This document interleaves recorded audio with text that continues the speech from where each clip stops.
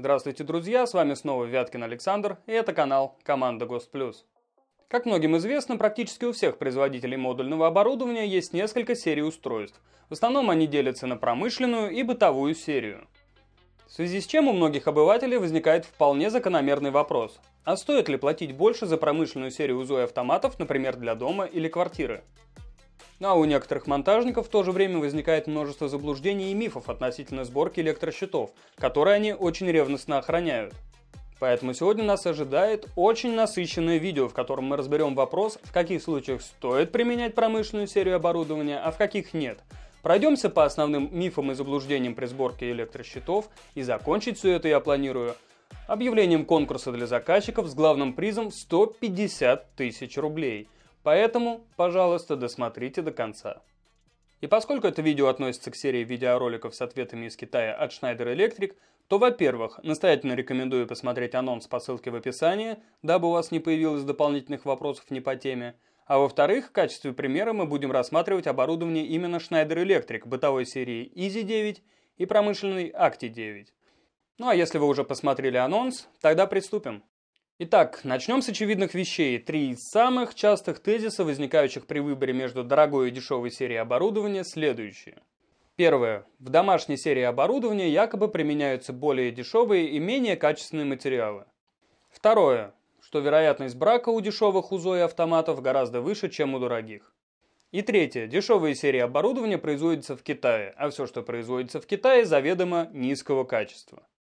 И для начала предлагаю ответить на первые два вопроса. Чем отличается дешевая серия от дорогой с точки зрения внутреннего устройства и какой процент брака отсеивается при производстве и лабораторных испытаниях? Эти вопросы задавались директору по продуктовому предложению конечного распределения Лихуа Чену во время поездки на заводы и лаборатории Шнайдер в Китай. Поэтому предлагаю для начала послушать его ответ, после чего я добавлю свои комментарии. За синхронный перевод огромное спасибо Заурбеку Байцаеву с канала «Электромонтаж USA». Его канал вы сможете найти по ссылке в описании и посмотреть, как делают электромонтаж в Соединенных Штатах. У Acti 9 широкий диапазон применения, тогда когда у Easy 9 в основном э, он предназначен для применения в жилищном электромонтаже.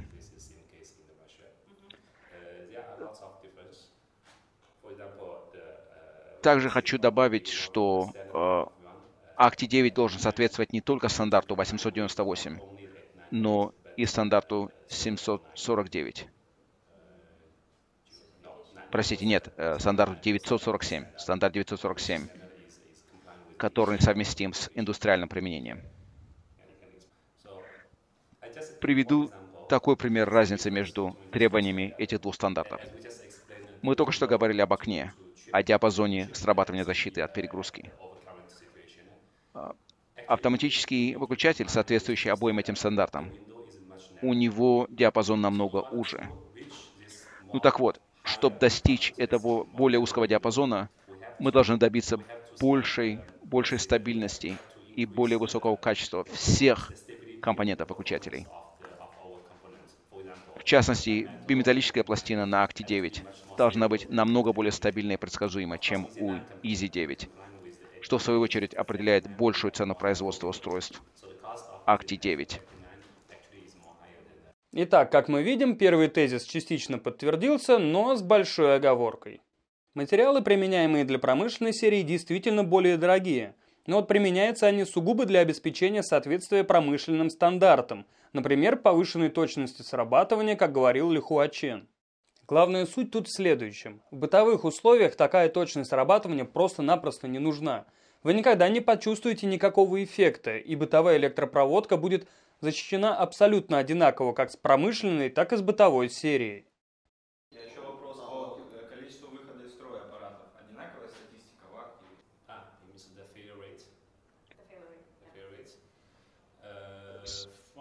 Статистически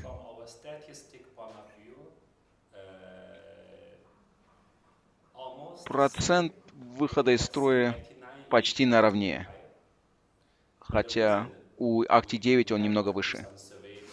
Но причина в этом тому, что вследствие того, что покупатели Акти 9 платят за продукт немножко больше, они с большей вероятностью нам позвонят, чтобы сделать заявку о замене по гарантии. Ну, то есть они с большей вероятностью при неисправности нам об этом пожалуются. Тогда, когда покупатель Easy 9, потребитель жилищного сектора рынка, скорее всего, при отказе, просто выбросит отказавший выключатель и не станет заниматься заменой по гарантии. Но статистически особой разницы при внутренних испытаниях между Acti 9 и Easy 9 у нас нет. Что же касается надежности, то, судя по лабораторным испытаниям, эти две серии аппаратов в принципе ничем друг от друга не отличаются. Разумеется, разница есть в составе материалов, из которых изготавливаются разные серии аппаратов защиты. Так, например, пластик Acti-9 более высокого качества как по упругости, так и по стойкости к агрессивным средам, в том числе и ультрафиолету. Они меньше подвержены старению и дольше сохраняют цвет – но опять же, при использовании стандартных условиях квартиры, эти моменты, как и повышенная точность срабатывания, уже не так принципиальны. Да, многие электрики могут заметить, что им чаще попадаются неисправные и вышедшие из строя аппараты именно дешевых серий, но связано это не с качеством, а с количеством. Вполне очевидно, что при повсеместном и повальном применении бытовых серий и при этом единичных случаях применения промышленной, неисправности больше будет замечено в первом случае. Ну а что касается вопроса стороны производителя, то на этот вопрос я уже частично ответил в своем видеоанонсе.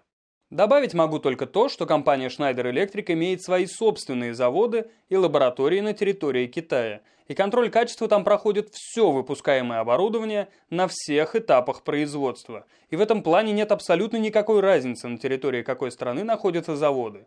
Качество выпускаемой продукции всегда будет одинаковым. Но если нет никакой разницы в качестве и надежности, почему тогда многие монтажники, в том числе и наша команда GhostPlus, зачастую все-таки применяет промышленные серии аппаратов защиты? Наша команда, как и многие адекватные монтажники, использует промышленную серию оборудования по двум основным причинам. Вторую причину предлагаю обсудить ближе к концу, ну а первая причина – это ограниченность ассортимента модельного ряда бюджетных серий. Например, Рекомендуемые 256 сводом правил УЗО типа А для бытовой техники зачастую отсутствуют в бюджетных линейках, так же как и селективные УЗО. Также вводные автоматы, которые в соответствии с нашими нормами должны быть с отключающей способностью 6 кА. Отсутствуют и контакторы на токе свыше 40 А, как и автоматы с низкими номиналами для защиты их цепей управления. И многое-многое другое. Я должен только уточнить, что многое из перечисленного мной выше либо уже есть в домашней серии Easy 9 от Schneider Electric, либо в скором времени появится. Поэтому, отвечая на частый вопрос подписчиков, когда же мы увидим щит на Easy 9 от команды GosPlus, отвечу. Как только, так сразу. Как только модельный ряд Easy 9 расширится до необходимого для наших счетов разнообразия. Ну а прежде чем мы обсудим вторую причину, предлагаю очень коротко и поверхностно пробежаться по основным мифам и заблуждениям, которые заставляют уже чуть менее адекватных монтажников использовать в своих сборках промышленные серии аппаратов защиты. Вообще, относительно сборки щитов, в интернете присутствует огромное количество заблуждений и распространенных ошибок, требующих отдельного видеоролика с подробным разбором. Поэтому хочу попросить зрителей особо не заострять на них внимание, а дождаться подробного видеоролика из рубрики ТОП-5. А сейчас я приведу лишь пару самых ярких примеров. Одно из самых распространенных заблуждений – это то, что при применении более навороченных аппаратов защиты якобы можно пренебречь требованиями нормативных документов относительно прокладки кабелей. Особенно часто я встречаю подобные комментарии под видеороликами об электропроводках в деревянных домах. Дескать, я поставил себе УЗО типа А, автоматы с характеристикой Б, и теперь мне можно не прокладывать металлические трубы в деревянном доме. Автоматика сработает и защитит меня от пожара. Но это далеко не так. Вся суть этого заблуждения в том, что люди путают причину и следствие, ровно как и назначение перечисленных выше устройств. Также очень часто можем услышать, что применение автоматических выключателей с характеристикой B и отключающей способностью в 6 кА якобы предпочтительнее позволяет обеспечить некий более высокий уровень безопасности, что тоже по большей части является заблуждением. Ну и стоит ли говорить о том, что токи короткого замыкания, на которые рассчитаны автоматы, как и их время токовая характеристика, не имеют прямого отношения к селективности защиты. Это тоже распространенный миф и заблуждение. В общем, это далеко не все, и если вы хотите, чтобы наша команда как следует проехалась по всем этим электрощитовым мифам и заблуждениям, обязательно напишите в комментариях. Также напишите в комментариях ошибки, которые вам встречались, и самые интересные случаи мы обязательно обсудим. Ну а теперь давайте разберемся со второй причиной, почему мы используем промышленные аппараты защиты в своих сборках. Как мы поняли из всего вышесказанного, если перед вами стоит задача по сборке простого электрощита, без необходимости установки каких-то навороченных приборов, то вы можете со спокойной душой применить бытовую серию аппаратов защиты. В домашних условиях она обеспечит вам точно такой же уровень безопасности, как и промышленная. Но есть один нюанс. Любой, абсолютно любой электрический щит, на каком бы оборудовании он ни собирался, и как бы грамотно он не был спроектирован и собран, нуждается в периодическом обслуживании, профилактике и ремонте. И в этом плане промышленная серия Acti 9 от компании Schneider Electric вне конкуренции. Одно дело, когда вы собираете пару-тройку простеньких щитов в год, при этом живя в небольшом городе или собираете щит для себя. И другое дело команда ГОСТ Плюс со счетами, собранными в соблюдении всех рекомендаций нормативных документов, неотключаемыми группами и мастер-выключателями, с подключением генераторов, АВР, БП и так далее, и установленными на всей территории Москвы и Московской области. И в нашем случае просто собрать щит и оставить заказчика с ним один на один – это равносильно тому, что сказать, дескать, ты заплатил денег, мы собрали, а дальше как ты будешь ковыряться, это не наши проблемы. Нет, мы так не работаем. И мы прекрасно понимаем, что зачастую, случае чего, обслуживать этот щит будет какой-нибудь электрик из местного ЖЭУ, который, может быть, за всю свою жизнь больше двух автоматов на одну квартиру и не видел. И именно модульное оборудование Acti-9 позволяет минимизировать риск ошибок низкоквалифицированного персонала, упрощает диагностику и обслуживание вплоть до того, что делает его вообще дистанционным – и здесь лучше все один раз увидеть на конкретном примере, чем я буду полчаса пытаться объяснить на пальцах.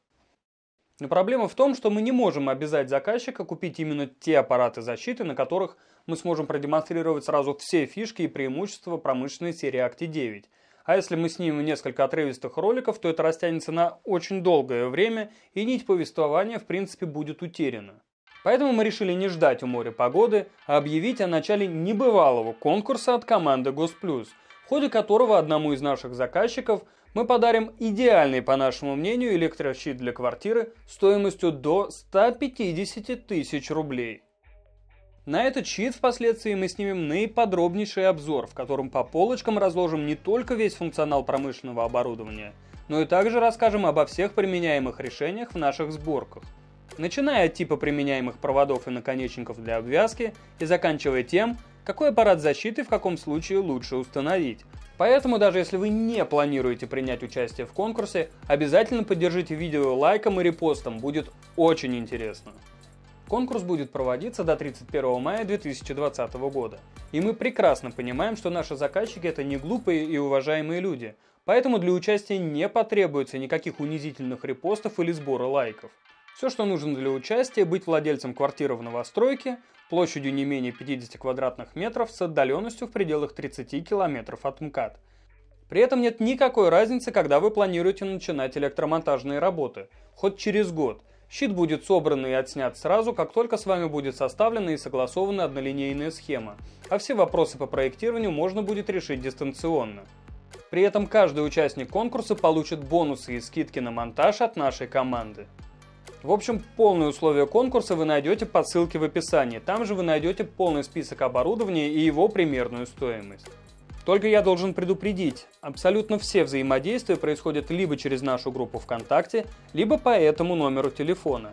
Мы не занимаемся никакими рассылками, остерегайтесь мошенников.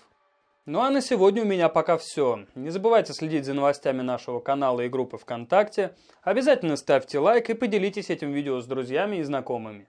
Спасибо за внимание, здоровья, удачи в конкурсе и безопасного вам электричества. С вами был Вяткин Александр, команда ГОСТ+.